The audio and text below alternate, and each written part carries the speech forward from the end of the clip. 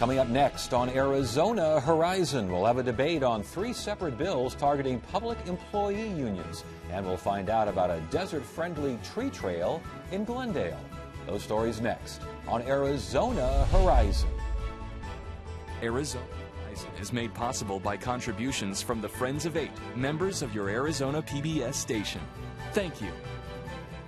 Good evening and welcome to Arizona Horizon. I'm Ted Simons. Governor Brewer today released a draft of proposed legislation to expand Medicaid. The governor made her case for extending eligibility to 133% of the poverty level and allowing the state Medicaid director to collect hospital assessments to pay for Arizona's portion of the plan.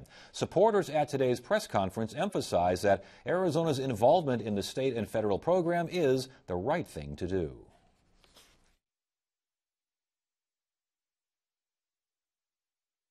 Today, I'm proud to announce that we have crafted a thoughtful, conservative legislation that honors the will of the Arizona voters. What's more, this Medicaid restoration plan will bring $8 billion into our economy over the next four years. It will throw a lifeline to a safety net in rural hospitals struggling with the cost of caring for the uninsured. But there's something even more important at stake today people. I'm talking about the tens of thousands of our fellow Arizonans who've lost jobs and their health insurance during the Great Recession. I'm talking about the thousands more who continue to work but simply don't earn enough to afford private insurance. You're on the right way of doing it when you're putting out the safety net for rural hospitals. I'm from Prescott. I, I, my hospital is Yavapai Regional. And if we don't do something to help out the rural hospitals, they're going to be closed when I need it or when anyone needs it. My name is Laura Gargiulo, and I'm a 45 year old single mother of an 11 year old son. I was diagnosed with stage, stage 3 breast cancer on October 15, 2012. I've been a teacher in Arizona for over 17 years and have always been insured. Following my divorce, I decided to cancel my private insurance policy when it came down to choosing to pay for groceries or insurance for my son. The governor's plan to restore access coverage will save lives. It will save families, and it's the right thing to do. Opponents of the plan include the Goldwater Institute and grassroots Republican officials who don't believe that the federal government will honor its agreement to pay for most of the expansion. Well, also at the Capitol, several bills that would make changes to public unions are moving through the legislature. The three bills would impact union paycheck deductions, compensation for union activities, and the prohibiting of government contract employees to participate in a work stoppage. Joining us now is State Senator Rick Murphy. He is sponsoring the bills, and speaking in opposition is Senator Steve Gallardo. Good to see you both here. Thanks for joining us. Thank you. Uh, let's start with, let's just go through these things one, two, three. Uh, prohibiting municipalities uh, to pay for work outside the job. Why prohibit that? Well, currently, first of all, the Arizona Constitution has a gift clause that prohibits gifts of public money without compensation in return or without uh, consideration in return. And so, what is happening right now is union employees, the union bosses negotiate into their contracts what so-called release time. In other words, they're released from their regular duties to do whatever for the unions. There's no tracking, there's no accountability, there's no documentation of what work they're doing. Some of it might be legitimate. Who knows what the rest of it is?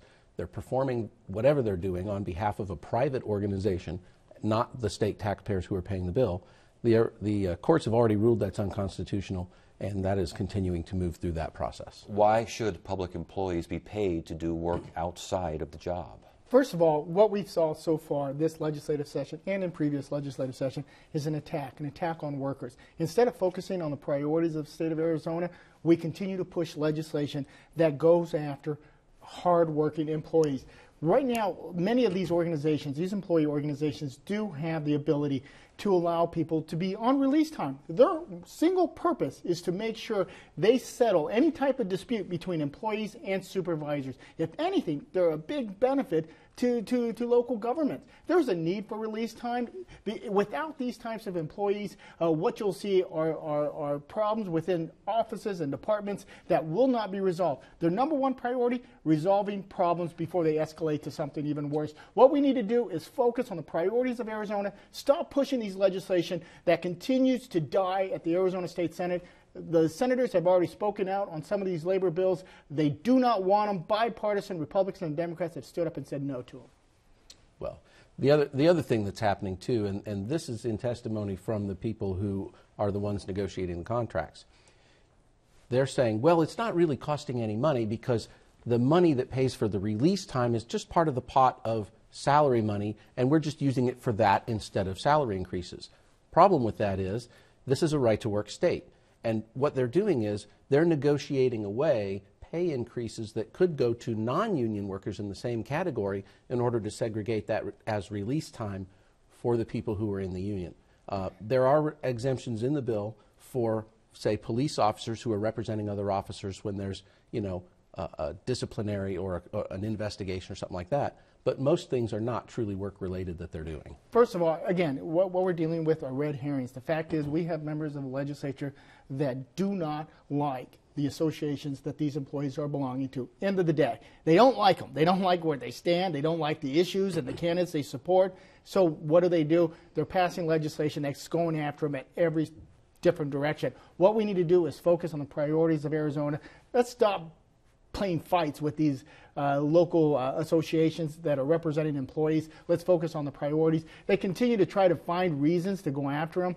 Again, these, these particular employees that are on release time serve a valuable effort they resolve problems before they become bigger problems. Have there been, critics will say that unions have been abusing some of this release time. I've heard everything from naps to going out to playing golf to all points in between. Is that a valid argument? No. Uh, again, what are these cases? I have not seen any of these reported cases. The fact is they play a valid part. They're, they're there working to, to resolve problems you talk to any governmental agency, you talk to any any uh, employee on on uh, release time, they will tell you what they do. They tell you they they serve a valid purpose. They resolve these problems. Let's focus on the priorities of Arizona. Let's stop picking fights with organized employees unions. Solution in search of a problem here? Uh, no, absolutely not. Because see, the fact of the matter is, we don't know what they're doing yeah, we, some of the, what they're doing may be legitimate, but there's no requirement for logs, there's no requirement for record keeping, and I suspect if we put that on the floor, that would probably fail too, see, see, because again, the same people who say that everything they're doing is great would probably vote again, against that. Again, again, no proof that there's ever any wrongdoing. The fact is, he, so you'd be in favor of a log? The, the, fact is, the fact is that they're not happy with the association. They don't like the employees. Uh, they don't like the candidates and the issues that they I stand can't speak for. to other people's So motives. they have they haven't they they have no evidence of any abuse. He, he just told you there's no evidence of abuse. So why are we doing it? Why aren't we focusing on the priorities of Arizona? Why are we continue to going after an association? Without any proof. Last point on this. If, if, release time is negotiated by the municipalities, uh, if the municipalities don't like it, they don't have to put it into the contract, do they? The fact of the matter is, a lot of these times, people on these councils are re- recruited and elected with a lot of help from the very unions they then negotiate with. The fact of the matter is, in many of these cases, nobody is standing up for the taxpayer. So I'm wondering would you be in favor of a log, of a requirement to keep a log of what they do on release time? Because if there's nothing bad going on, there should be no problem with the, keeping the, a log. The, the, fact of the matter is, this is a local control issue that's negotiated by elected officials that are elected by the people in their particular jurisdictions. The fact of the matter is there's no proof of, of any abuse. The fact of the matter is that we have legislators who continue to want to target these employee organizations because they don't like them. Let's focus on the priorities of Arizona. Let's focus now on paycheck deductions and for third party uh, payment deductions and these sorts of things. Why should that be allowed? Why should that continue? Uh, in uh, payroll deduction, yes. it, again, it, it is, it is a, the right for an employee uh, within the particular jurisdiction to belong to an association. Right now, what they're doing, they're, they're selecting it. It isn't something that's mandatory. Like Rick says, we're a right to work state. These employees are not uh, tied down and, and, and, and forced to belong to an association. I'm a dues paying member to, to a state employee. Uh, it's, it's, a, it's, a, it's a right that I have. I can select that I want to be part of that organization. What's wrong with that? Why are we telling employees that they cannot belong to an association? What that's are you not, telling employees here? That's not what the bill says. The bill doesn't, personally, I don't think that the government, the taxpayer funded payroll structure should be taking out union dues for a private organization. But setting that aside, that's not even what the bill does. The bill doesn't even go that far. All the bill says is you have to re up your authorization once a year. That's all it says. And the fact of the matter is, I'm a state senator. I have to re up my authorization for uh, my benefits, for my health insurance, for my uh, uh, 401k, not 401k, the uh, flexible spending account for the medical. I have to re up that every year or it stops. So why should union dues be any different than that? Why not You know- check the box every year? What's wrong with that? First of all, I have that right. I have the right to check that box. I have the right to withdraw from an employee's union. If he doesn't want to belong to an association, he doesn't have to. He doesn't have to check the box. The fact is, there is a process already in place that allows me to withdraw if I decide I don't want to be part of the association. The only thing we're attempting to do here, unfortunately, is to make it harder for employees to be part of an association. That's all we're doing. Are, are workers demanding this, this, No. this particular change? no. A Who's, who's asking for it? Who's a asking? lot of it isn't the think that it's a jurisdiction, it isn't the city, thing to do. it isn't the employees. Who's asking for this type of change? It's not that onerous of a thing to do. If we require it for people's health benefits, if we require it for things like flexible spending accounts, just to reaffirm that, yes, this is what I remember that my deductions are, and I want it to continue, and my circumstances haven't changed, or maybe they have, and I make a change, just to reauthorize and reaffirm that once a year is not that onerous. I, I don't see what the problem with Too much is. to ask? Again, who's, who's asking for this change? Or do we, are, are our doors being beaten down by employees saying, hey, we want to have this option? No, it's a small group of legislators who are not happy with the association, so they're pushing legislation to make it harder for them to operate. The cities and towns are not asking for it, local governments are not asking for it, employees are not asking for it. The only ones that are asking for are a small group of uh, legislators who are not happy with the association. And one more thing you're asking for is, is that prohibiting a work stop, stoppage, a strike uh, by public contract workers, correct? Right. There's a third bill, Senate Bill 1350, that would prohibit work stoppages by contracted employees who are contracted with a municipality or with the state. And the predominant area where I've seen that is bus drivers, uh, light rail uh, operators, things of that nature. Uh, the fact is, you know, we keep hearing about how this is terrible for the, uh, for the poor and for the working class and all this. The working class are the ones who primarily use that public transportation, and they're held hostage every time there's a strike or a threatened strike. And, and what is it for? They want more money from the people they're serving, and they're going to hold them hostage till they get it. These people can't even get to work when that happens. local control. Again, we have jurisdictions that are elected by the people of, of the particular cities and towns and, and counties. They're elected to, to oversee and run their agencies and their cities. Why are we as legislators going into a city telling them how to run their cities? Uh, if, if there's a work stoppage, that's between the association and that elected body to, to resolve that. Again, why are we interfering into a local control issue? Again, this should be dealt with on the local level, not the state legislature. Bottom line argument I, I, I'm hearing from Senator Gallardo is that basically public employee unions don't seem to be good for much of anything from a certain vantage point. Is that a legitimate criticism from what you, from where you're coming from? Well, I think it is. I, none of my bills have ever, and I don't expect they will ever, have anything to do with private sector unions because that's not the focus here. I believe in you know right to association, and if people want to associate that way, that's fine. It's the private sector, and the free market will take care of that. But the public sector is different.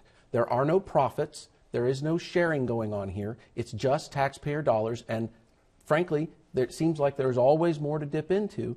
And when you're electing the people that you negotiate with, there's just not enough accountability there. Public employee is a different beast. Again, our, our first responders, our firefighters, our law enforcement officers, our hardworking uh, individuals, uh, there is no problem right now with, with how they are running their organizations. There's no problem right now with their their uh, their work or network with the local governments. Is that we're, we're again we're not happy with the associations. We're not happy with the candidates that they're endorsing or the issues that they stand for. So we're going after them. We, we do we got we got to stop it right there. I, I'm Not even time for a quick quote. How about how quick can you make it? It's one sentence. It is impossible to collectively bargain with the government.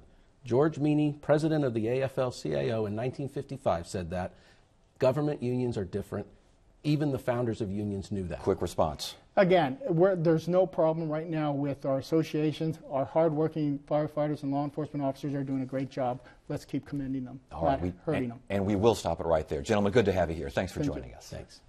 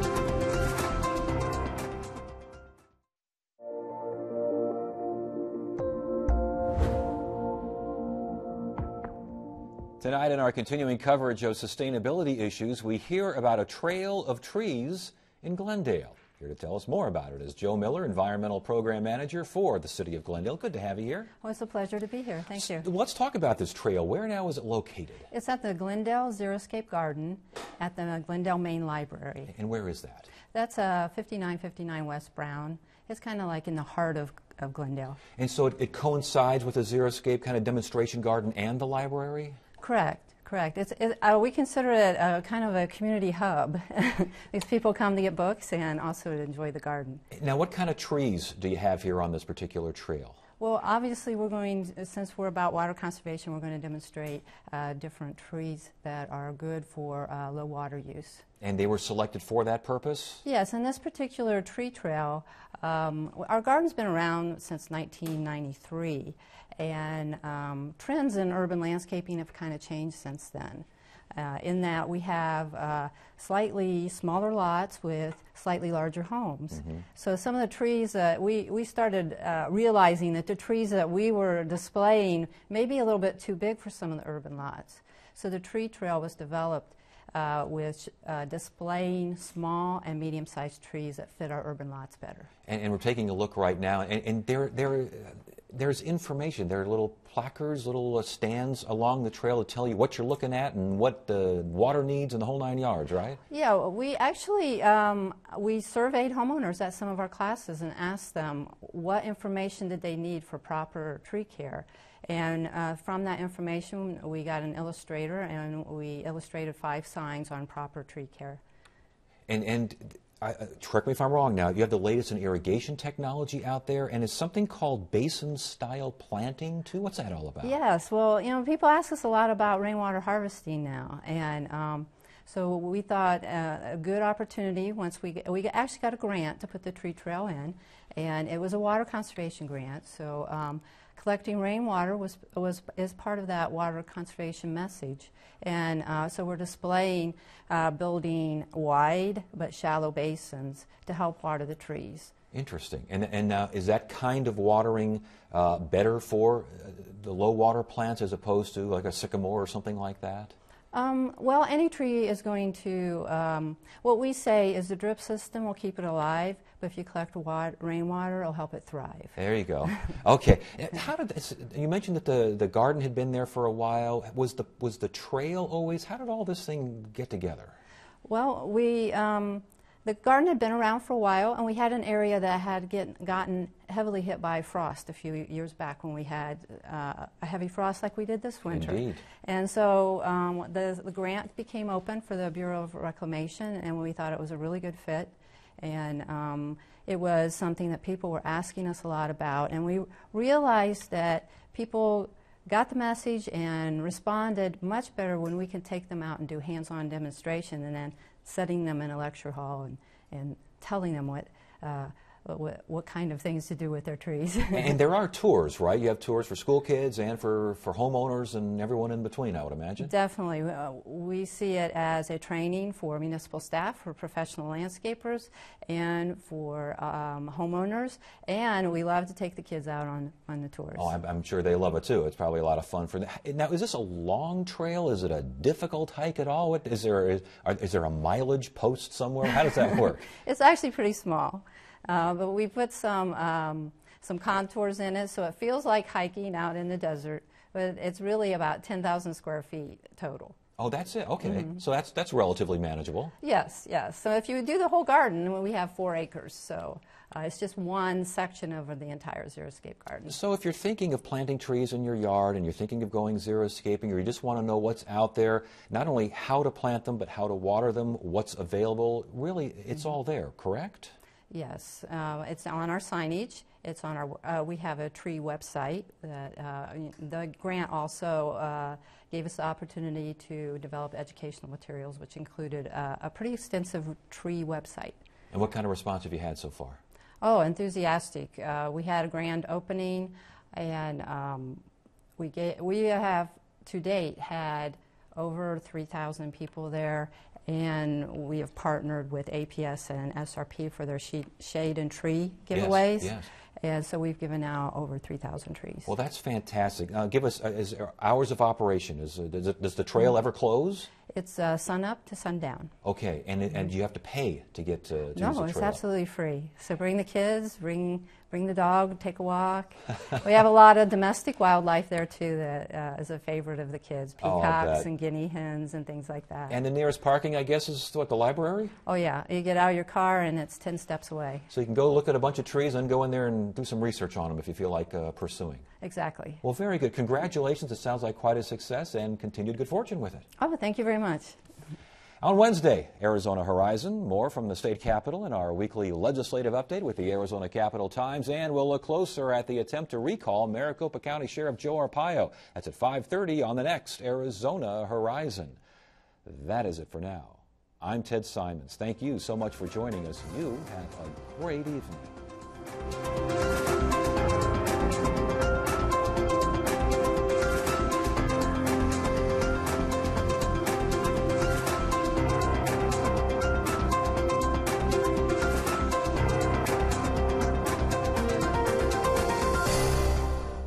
Arizona Horizon is made possible by contributions from the Friends of Eight, members of your Arizona PBS station. Thank you.